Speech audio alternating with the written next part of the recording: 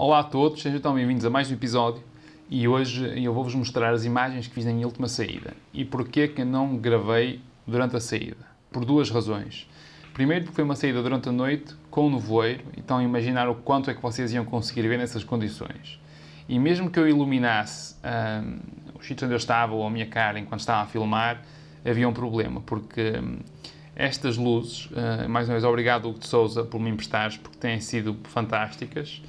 Um, a bateria delas uh, é relativamente curta, 30 minutos na potência máxima, que é como eu as uso, e portanto não tinha como um, desperdiçar a energia nas luzes para me filmar a andar, ok? Portanto, vamos ver as imagens e, um, e falar um bocadinho sobre elas.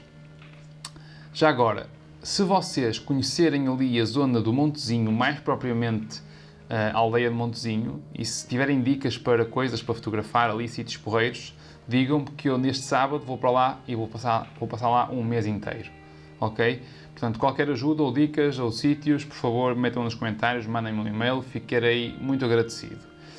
No entretanto, quando eu cheguei lá, hum, estava muito nevoeiro no Jerez, vamos agora passar para o, para o Jerez, e hum, fui visitar uma árvore que o António Ferreira, se não estou em erro, mais uma vez obrigado António, me mandou uma fotografia uh, por causa do meu último vídeo, porque pensou que tinha sido esta árvore que eu estou a mostrar agora que tinha sido abatida. Uh, mas não, esta foi uma árvore que também já fotografei há uns tempos, porque tem de facto muito caráter e uh, passei por ela e fotografei-a. E ele pensou que era essa, mandou uma árvore, identifiquei e até me lembrei, olha, então se calhar é uma à qual eu posso voltar em condições boas para fotografar. Foi o que eu fiz. Um, cheguei lá, estava no voeiro, portanto consegui fazer uma imagem porreira quando cheguei, mas o nevoeiro depois também se dissipou rápido. E uma coisa que eu ainda não sei, hoje só vos vou mostrar uma das versões, talvez no futuro mostre outra. Ainda não me decidi, apesar de estar muito inclinado para o preto e branco nestas fotografias à noite com o nevoeiro, ainda não decidi se cores é melhor ou pior, mas estou inclinado para o preto e branco, para já. Um, porquê? Porque isto é muito gráfico, não é? É mais, é mais acerca das formas, acerca dos contornos dos troncos e essas coisas, e portanto, muitas das vezes a cor nestas situações até pode ser um bocado uma distração. Uh, pelo menos para mim, não é? isto é tudo muito pessoal um, e nós de noite também, eh, claro que com luz passamos a ter cor, mas normalmente a noite é sinónimo da ausência de cor porque há ausência de luz, não é? Claro que temos luz artificial, aparece a cor, etc. Mas, epá, não sei, acho que toda a atmosfera e todo o ambiente faz com que eu uh, prefira as imagens a preto e branco. Esta imagem é de tal árvore que eu acabei de mostrar, Uh, Vou-vos deixar com a imagem uns segundos, uh, espero que gostem de a ver. E epá, é uma árvore que tem muito potencial, mesmo para fotografar de outros ângulos, porque tem ramos que descem e batem no chão e voltam a subir, é qualquer coisa de fenomenal. Um, fiquem então com a imagem, 15 minutinhos, uh, ah, 15 segundos, e a gente já, já fala mais um bocadinho.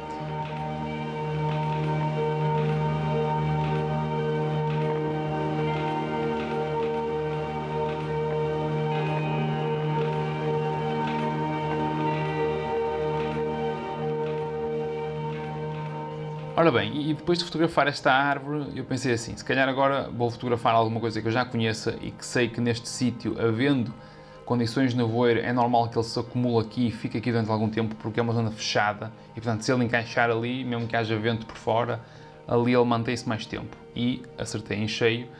Cheguei aqui a este carvalho, a este sobreiro, desculpem, um, que tem, que tem um, que já foi fotografado também pelo, pelo Anjo de Jesus e foi fotografado pelo pelo Verdasca.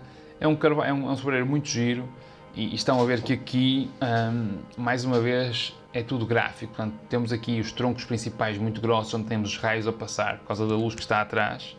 E nesta aqui até usei duas luzes. Portanto, há uma luz por trás do tronco principal e há outra luz mais lá ao fundo, a iluminar um bocadinho os, os ramos uh, da esquerda, para termos algum detalhe ali, porque senão aquilo ia estar tudo muito escuro e íamos perder aquele detalhe dos ramos a descer, que eu acho que são fabulosos.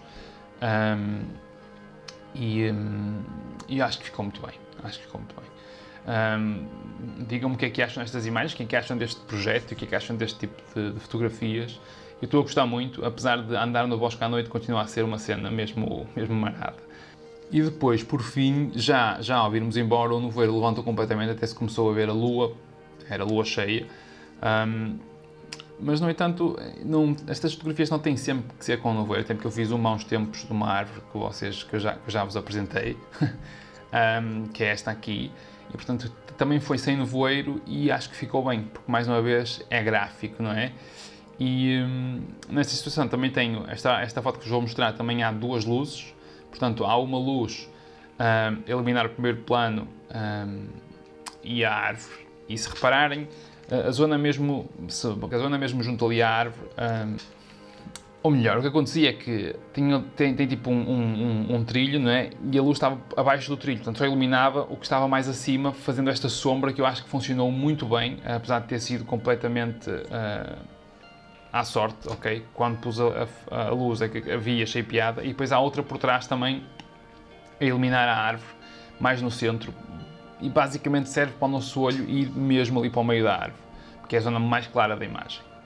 E pronto, este vídeo é, é um vídeo curto, mas um, pá, foi uma experiência fixe e tenho que agradecer mais uma vez ao, ao Cândido uh, por me ter feito companhia, porque só, andar sozinho aqui é muito complicado, nem é, nem é tanto por um gajo ter receio de andar lá no meio, porque temos sempre receio, eu tenho receio de andar lá no meio sozinho, mas é mais porque, não é receio, é, é, um, é, um, é um desconforto e ter os sentidos sempre alerta para tudo, menos para a fotografia, e portanto torna-se difícil a gente concentrar-se uh, em fotografar.